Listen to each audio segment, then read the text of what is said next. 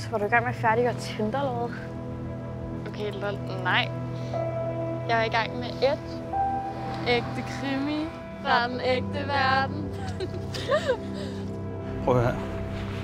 Omkring kl. 10, så lukker det hele ned. Og den der port, den kører lige så langsomt ind. Bagefter er den eneste mulighed for at komme ind ved hjælp af den her lille brik. Er du sikker på, at du godt vil det her? Øh, ja. Det bliver for fedt. Tror du ikke, du har nok at skrive om nu? Så vil jeg virkelig gerne hjem. Det er ikke allerede. Altså, det her det er jo sygt spændende.